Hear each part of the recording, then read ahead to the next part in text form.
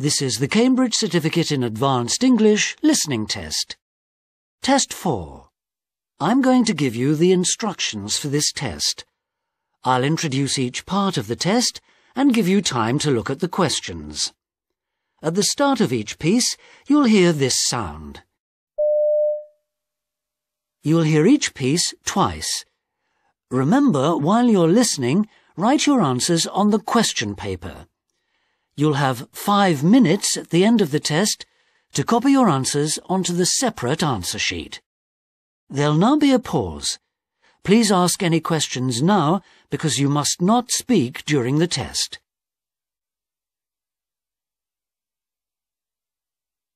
Now open your question paper and look at part one.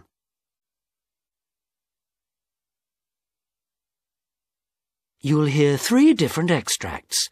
For questions 1 to 6, choose the answer A, B or C which fits best according to what you hear. There are two questions for each extract. Extract 1. You hear part of an interview with a broadcaster who's talking about a series of programs he presented about landscape painting. Now look at questions 1 and 2.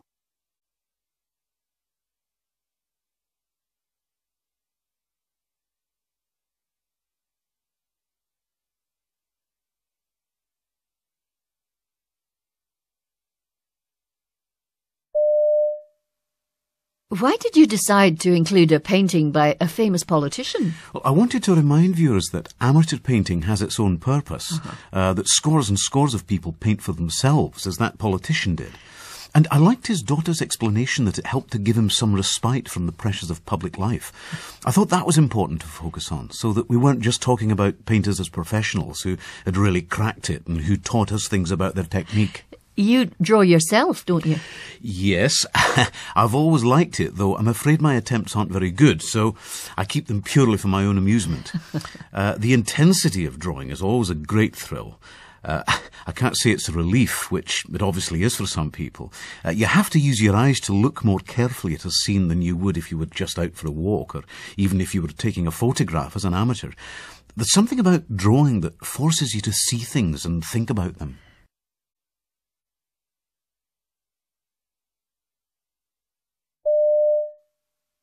Now you'll hear the recording again. Why did you decide to include a painting by a famous politician? Well, I wanted to remind viewers that amateur painting has its own purpose, uh-huh. uh, that scores and scores of people paint for themselves, as that politician did. And I liked his daughter's explanation that it helped to give him some respite from the pressures of public life. I thought that was important to focus on, so that we weren't just talking about painters as professionals who had really cracked it and who taught us things about their technique. You draw yourself, don't you? Yes. I've always liked it, though I'm afraid my attempts aren't very good, so I keep them purely for my own amusement. uh, the intensity of drawing is always a great thrill. Uh, I can't say it's a relief, which it obviously is for some people. Uh, you have to use your eyes to look more carefully at a scene than you would if you were just out for a walk, or even if you were taking a photograph as an amateur. There's something about drawing that forces you to see things and think about them.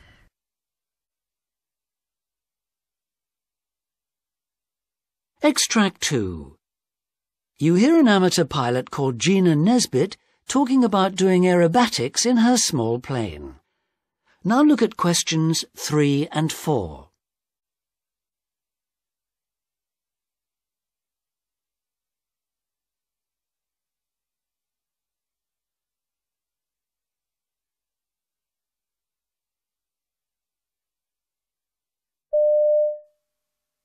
I've only ever been up in a plane once where the pilot turned the plane over in an aerobatic display, and I've never been more scared or felt sicker. Do you get that sinking feeling too, Gina? I'm very fortunate in that I don't. This came as a pleasant surprise to me because I do get terribly seasick. I find that what's routine and what I'm used to doing isn't frightening. Learning some of the new maneuvers, though, can be quite daunting because this is a single seater plane. So the first time I do anything new, I'm on my own, except for the guidance of my coach who's on the ground. What's the real thrill for you of performing these difficult maneuvers in competitions? It's exciting, of course, but ultimately the reward comes from knowing that you've done it with precision. It involves an unusual combination of mental preparation, physical preparation, and skill. It's not as difficult as you might first think to fly the sequences of movements. What is difficult is doing it to a high enough standard to avoid the faults the judges are looking out for.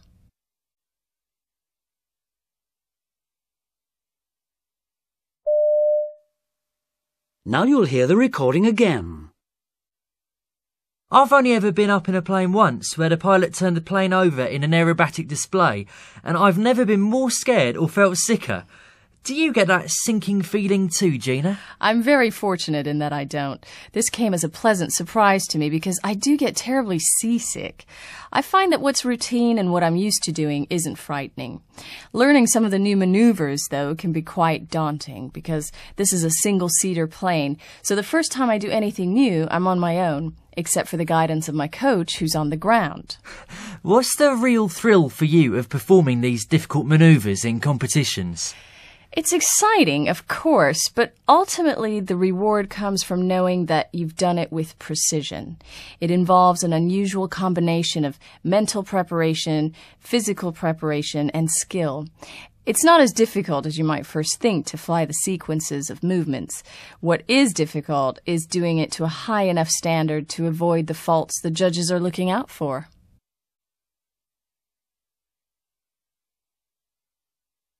Extract 3.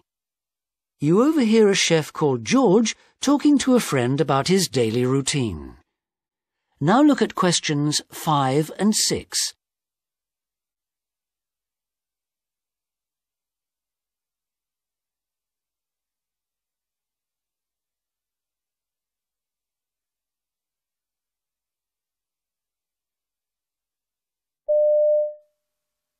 I'm exhausted. It took an hour to drive five kilometres. You should do what I do and use a motorbike. Is it much quicker? It is a bit, because you avoid some queues. The great thing is, when I put on my helmet, I'm shut away, you know, in my own little world. And that means I arrive feeling quite calm. I started riding a motorbike where I grew up in the country because there weren't any buses. So is that your most prized possession? I was asked recently what my favourite thing at home was. As a chef, I imagine yours is something in the kitchen. Your cooker, perhaps. The one at the restaurant is fantastic because it was specially designed for me. It's hard to say here. My family love the kitchen table where they chat for hours. Given the late hours I work, I hardly participate in that. No, my workplace is so hot and sticky that what I long for is a shower when I get home. I feel the stress of the day disappear with the water. Odd thing to choose, isn't it?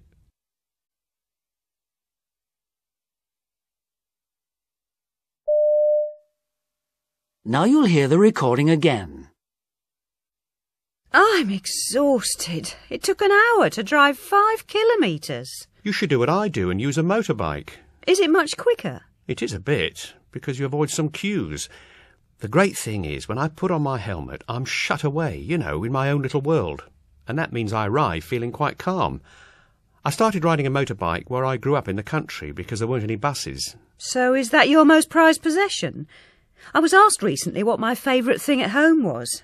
As a chef, I imagine yours is something in the kitchen. Your cooker, perhaps. The one at the restaurant is fantastic because it was specially designed for me.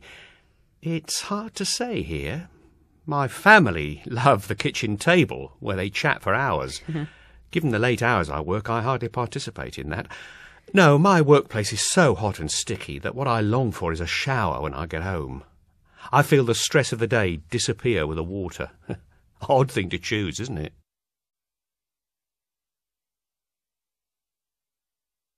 That's the end of part one. Now turn to part two.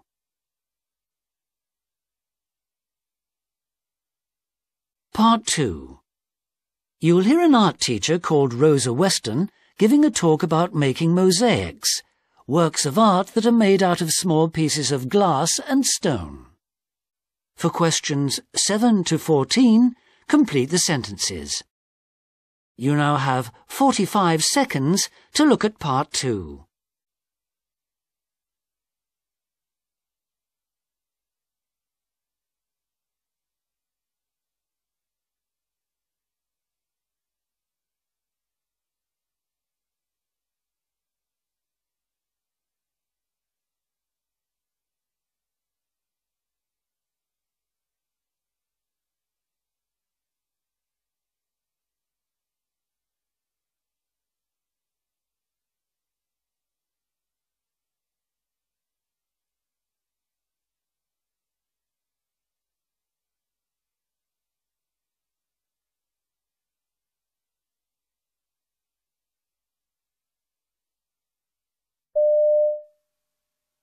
I'd been teaching art for about 10 years when I went on holiday to Greece. While I was there, I became really interested in the art of making mosaics and decided to include this in the courses I run. Many people assume that the Romans invented mosaic, but it was the Greeks who were the true craftsmen, and they, in turn, probably picked it up from the Sumerians. But it was the Romans who brought mosaics to Britain. And apart from the introduction of nylon backing to hold the tiles together, the techniques themselves haven't changed much over 5,000 years. It's the designs which have undergone a really radical change. In the recent past, modern mosaics have been restricted to the walls of public libraries and the odd swimming pool, and by and large, it looked as if the true art of the mosaic could well disappear. Fortunately, that has not happened. People often ask me why I prefer to spend hours teaching my students to stick tiny squares onto tiles when I could be doing something else. And it's certainly the case that the process demands both time and motivation on occasions. It can even give you a really bad headache. but in fact, there's something very therapeutic about it. I think it has something to do with breaking things up and then reconstructing them. For every course I teach, we have jars and jars of brightly coloured glass, odd bits of china, broken plates and dishes, and most people just can't wait to start sticking them onto larger stretches of concrete. For the beginners, we produce mosaic packs, which contain all the essentials you need and explain clearly how to go about things. Each course includes a weekend workshop, which is attended by the majority of the students, and it's actually a wonderful way of relaxing. I'm often asked if I do puzzles, and it's not such a silly question as it sounds because it's a very good comparison of skills. Some people do get a bit scared, faced with all that choice, but that's why the mosaic packs are so popular. But I try to teach people to be inventive as well. If you look around yourself, there's plenty of evidence that the art is enjoying a revival. Not only do you see mosaic ashtrays and soap dishes, but you can actually now find them decorating underground station walls. Now, I'm not suggesting that you start pulling your own home to pieces and replacing everything with mosaics, although I often find myself looking at chests of drawers and thinking, hmm, just a border perhaps. Still, my reply to my over-anxious students is, all right, I know it takes hours, but after all, it's a labour of love, and you have something which will give pleasure for a long time afterwards. Now, if you're interested in trying out the effect in your own home,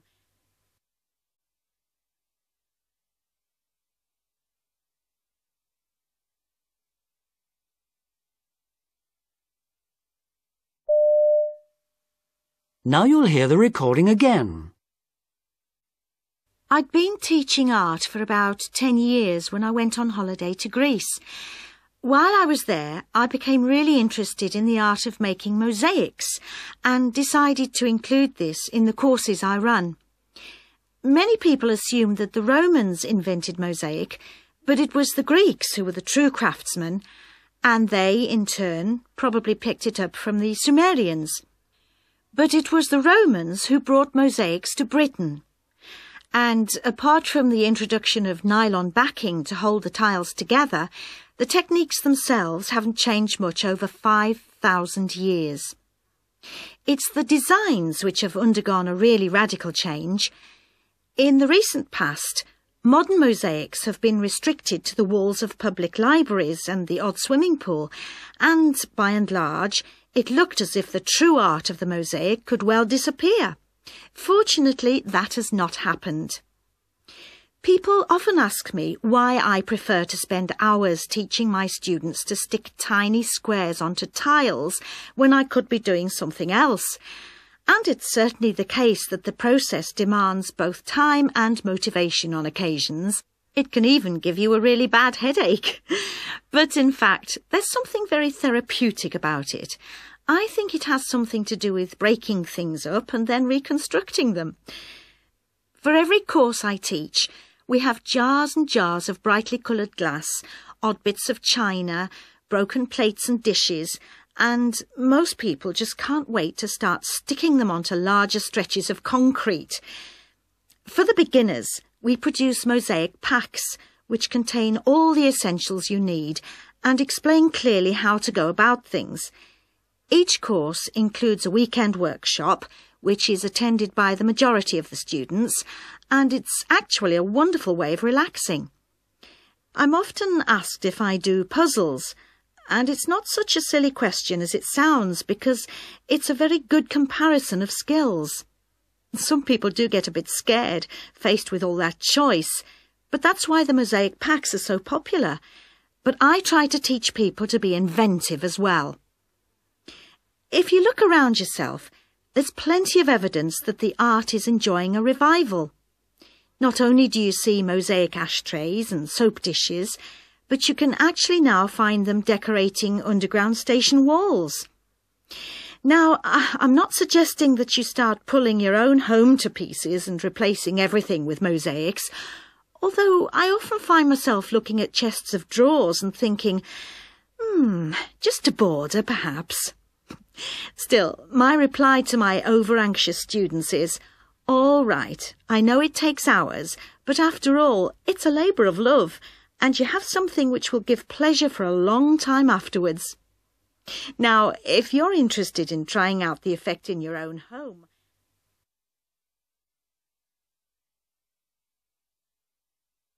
That's the end of part two. Now turn to part three.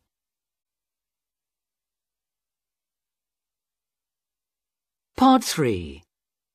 You'll hear part of a radio program in which two people, Sally White and Martin Jones, are discussing the popularity of audiobooks.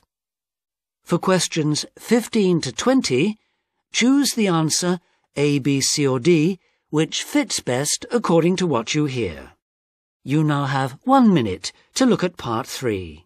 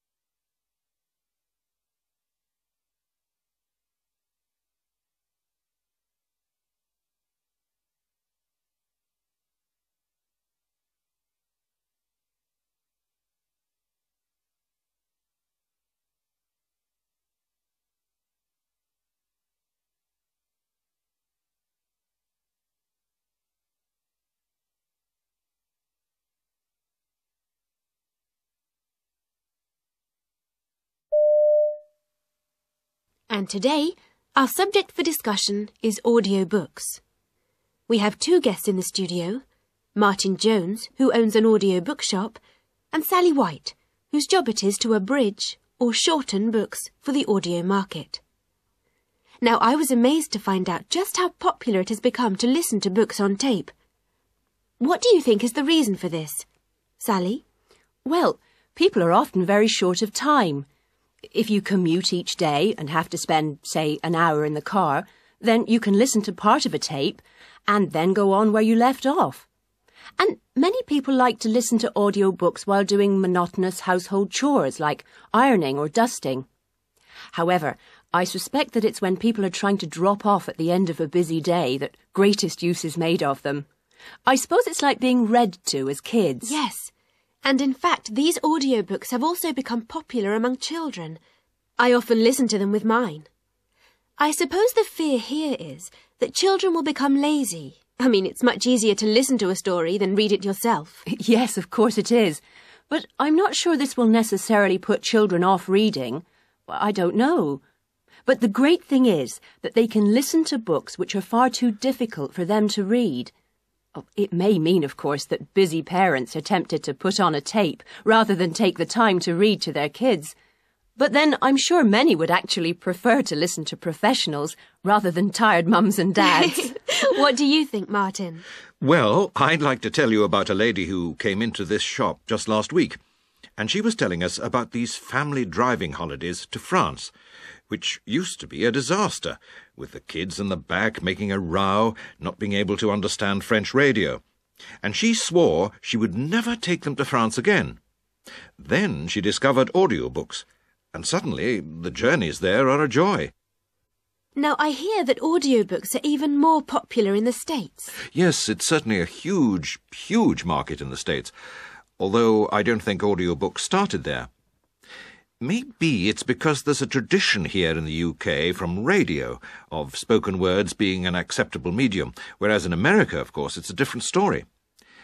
In the main, Americans don't seem to get as much drama or stories on the radio, so they're going out and getting audiobooks. And the principal attraction is that they need something to listen to because of the time they spend on the road. Places are so much far farther apart. An audiobook passes the time. And what are the reasons for sometimes asking the author to do the reading rather than employing a professional? Oh, it depends. Obviously, the author is the one who's closest to the book, and they may have a particular interpretation of the book that they are anxious to portray. Most authors will have already done public readings of their books anyway, as part of their promotional activities at the time of publication, so they've probably read parts of it already. Otherwise, professional actors are used. We're very lucky in Britain to have such a wealth of actors who can bring the story alive completely. Now, Sally, your job is to abridge books especially for the audio market. I suspect a lot of people would say that you shouldn't mess about with what an author has written. Oh, no, I don't agree. Most of the abridgments these days are really extremely good. Abridgers interpret the story in the way they believe the author has written it. But the point about abridgments is that one's adapting it to create a new version of the story, so it will inevitably be different to the original. Now, obviously, some books are easier to abridge than others. yes. I'd imagine a thousand page volume by Charles Dickens must be a bit of a nightmare. well, what we do is to trim the excess off. So it's more to do with the way they write. Beryl Bainbridge, for instance, writes so beautifully and sparsely that it's harder to cut into her than Charles Dickens with his pages of detailed descriptions. This is probably the case with any kind of book. Uh, we, we shouldn't forget that many books are not abridged before being taped. I would say that these have now grown to account for about 20% of the audio market. So, yes, some people do prefer to listen to the whole book. We've got Anna Karenina that has just come on the market. It's on 24 tapes, so uh, you can imagine how long it is. 24 tapes? How long is a tape? Well, each tape is about 90 minutes, and the whole set comes to 90 pounds. Though it's a lot of money, we're talking about a lifetime's listening, which is really something, isn't it? well, thank you both very much. And now.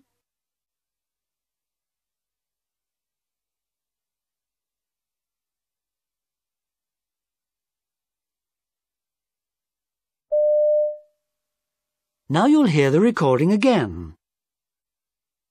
And today, our subject for discussion is audiobooks. We have two guests in the studio Martin Jones, who owns an audio bookshop, and Sally White, whose job it is to abridge or shorten books for the audio market. Now, I was amazed to find out just how popular it has become to listen to books on tape. What do you think is the reason for this? Sally? Well, people are often very short of time. If you commute each day and have to spend, say, an hour in the car, then you can listen to part of a tape and then go on where you left off. And many people like to listen to audiobooks while doing monotonous household chores like ironing or dusting. However, I suspect that it's when people are trying to drop off at the end of a busy day that greatest use is made of them. I suppose it's like being read to as kids. Yes. And in fact, these audiobooks have also become popular among children. I often listen to them with mine. I suppose the fear here is that children will become lazy. I mean, it's much easier to listen to a story than read it yourself. Yes, of course it is. But I'm not sure this will necessarily put children off reading. I don't know. But the great thing is that they can listen to books which are far too difficult for them to read. Oh, it may mean, of course, that busy parents are tempted to put on a tape rather than take the time to read to their kids. But then I'm sure many would actually prefer to listen to professionals rather than tired mums and dads. what do you think, Martin? Well, I'd like to tell you about a lady who came into this shop just last week, and she was telling us about these family driving holidays to France, which used to be a disaster, with the kids in the back making a row, not being able to understand French radio. And she swore she would never take them to France again. Then she discovered audiobooks, and suddenly the journeys there are a joy. Now, I hear that audiobooks are even more popular in the States. Yes, it's certainly a huge, huge market in the States, although I don't think audiobooks started there. Maybe it's because there's a tradition here in the UK from radio of spoken words being an acceptable medium, whereas in America, of course, it's a different story. In the main, Americans don't seem to get as much drama or stories on the radio, so they're going out and getting audiobooks. And the principal attraction is that they need something to listen to because of the time they spend on the road. Places are so much far farther apart. An audiobook passes the time. And what are the reasons for sometimes asking the author to do the reading rather than employing a professional? Oh, it depends. Obviously, the author is the one who's closest to the book, and they may have a particular interpretation of the book that they are anxious to portray. Most authors will have already done public readings of their books anyway, as part of their promotional activities at the time of publication, so they've probably read parts of it already. Otherwise, professional actors are used. We're very lucky in Britain to have such a wealth of actors who can bring the story alive completely. Now, Sally, your job is to abridge books especially for the audio market. I suspect a lot of people would say that you shouldn't mess about with what an author has written. Oh, no, I don't agree. Most of the abridgments these days are really extremely good. Abridgers interpret the story in the way they believe the author has written it. But the point about abridgments is that one's adapting it to create a new version of the story, so it will inevitably be different to the original. Now, obviously, some books are easier to abridge than others. yes. I'd imagine a thousand page volume by Charles Dickens must be a bit of a nightmare. well, what we do is to trim the excess off. So it's more to do with the way they write. Beryl Bainbridge, for instance, writes so beautifully and sparsely that it's harder to cut into her than Charles Dickens with his pages of detailed descriptions. This is probably the case with any kind of book. Uh, we, we shouldn't forget that many books are not abridged before being taped. I would say that these have now grown to account for about 20% of the audio market. So, yes, some people do prefer to listen to the whole book. We've got Anna Karenina that has just come on the market. It's on 24 tapes, so uh, you can imagine how long it is. 24 tapes? How long is a tape? Well, each tape is about 90 minutes, and the whole set comes to 90 pounds. Though it's a lot of money, we're talking about a lifetime's listening, which is really something, isn't it? well, thank you both very much. And now.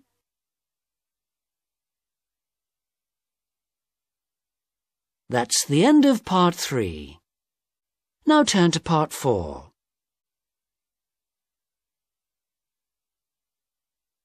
Part four. Part four consists of two tasks. You'll hear five short extracts in which people are talking about starting a business. Look at task one. For questions 21 to 25, choose from the list A to H the reason each speaker gives for starting a business. Now look at task two. For questions 26 to 30, choose from the list A to H the comment each speaker makes about their business. While you listen, you must complete both tasks. You now have 45 seconds to look at part 4.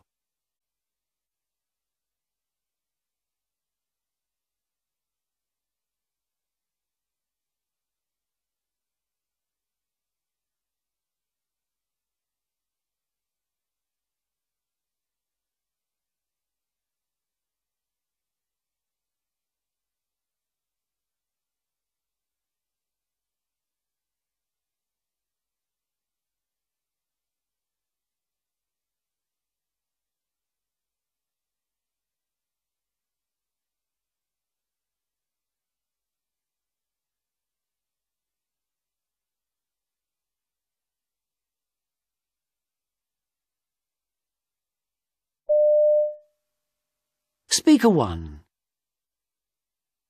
I'd never really considered starting my own business until last year. My friends were always on at me about what a good idea it would be, but I couldn't see the point. It wasn't as if I didn't have a good job. But then, when there was talk about reducing the workforce, and I was offered a lot of money to leave, I thought, why not try setting up on my own? I suppose I realised that I really didn't have that much to lose. There were the usual initial problems, of course, most of them financial, as I struggled to get things off the ground, but I don't regret my decision. Speaker 2. Although I know a lot of people are forced into this position through redundancy or whatever, in my case it all started when I fell out with my boss about a sales plan. He was so patronising, and suddenly I felt I just couldn't take any more. Next day I went back and handed in my resignation. The thought of having my own business had always been at the back of my mind, I suppose, and this seemed the perfect moment to go for it. My wife had mixed feelings at the time, but she can hardly complain now. We've never been so well off, and can now look forward to a comfortable retirement. It's such a relief not having someone looking over my shoulder the whole time. Speaker 3. My husband had always liked the idea of rural life, and when a job in a village school came up, he felt it was a chance he couldn't miss. The move to the country was difficult for me, though, because it meant having to give up my position in a really good company. I could have commuted, but it would have taken hours every day. There were no businesses like that in the area, so it was a case of setting up on my own or going into early retirement. I couldn't have managed without a computer and access to the internet. I must admit that I miss my colleagues, but I make sure I see them if I'm in London. Speaker 4. The idea came to me after we'd had a lot of work done on our house. It left us really hard up, and I found I was having to do a lot of the making good myself to keep costs down. Although I was a complete novice, friends who came round commented on what a great job I'd done and kept on at me to do up their places. It was a bit of a leap in the dark because I was trained as a careers advisor. But I've managed to persuade a friend of mine who does have some experience to come in with me, and here we are with our own little decorating company. Although I've yet to make my fortune, every job brings a fresh set of challenges to overcome, which is something I never had before. Speaker 5. We've spent several years trying to bring up children and have careers at the same time, so we knew how little time working people had to do mundane jobs like making a dentist's appointment or cleaning the car. So when I read a feature about a company in the US which you could call to do these everyday tasks, I thought, what a brilliant idea. Within a year, we'd set up our own company, and our feeling was right. There certainly is a great demand for this type of service in the UK as well. It shouldn't be long before we start making a real profit.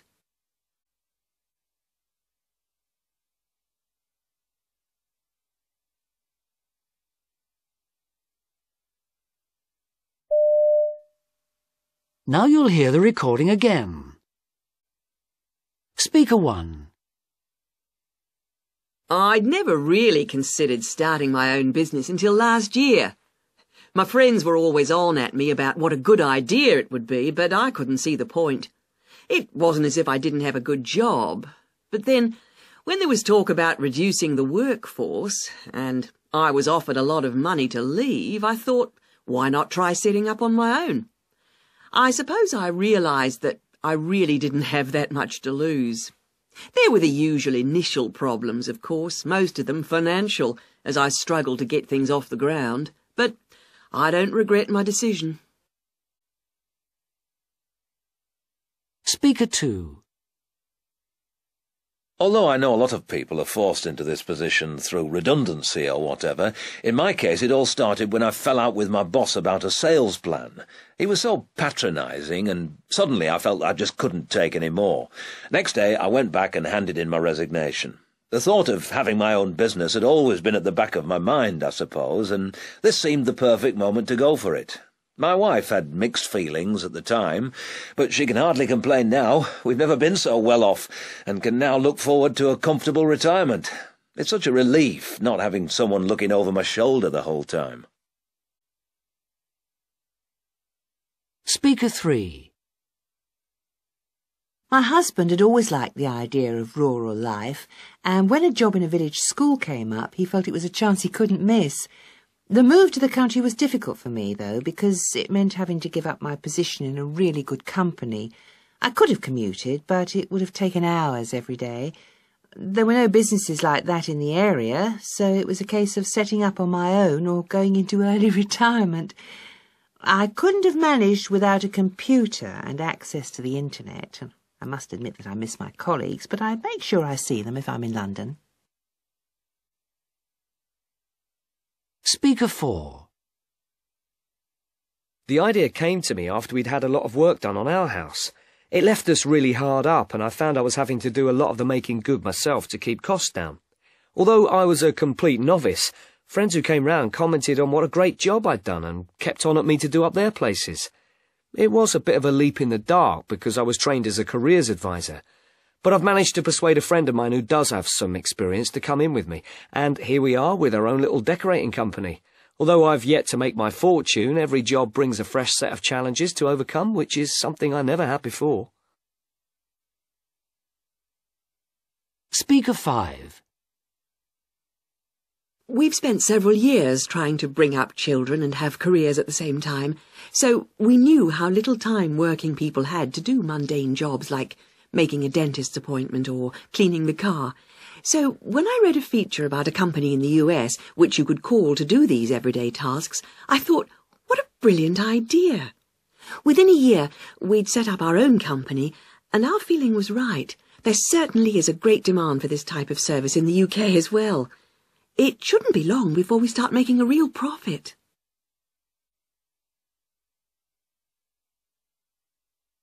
That's the end of part 4. There'll now be a pause of five minutes for you to copy your answers onto the separate answer sheet. Be sure to follow the numbering of all the questions. I'll remind you when there's one minute left so that you're sure to finish in time.